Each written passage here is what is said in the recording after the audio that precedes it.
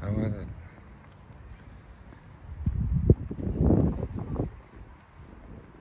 I, okay, I found a, I found a button that allows me to, I think, send text. So if I was to send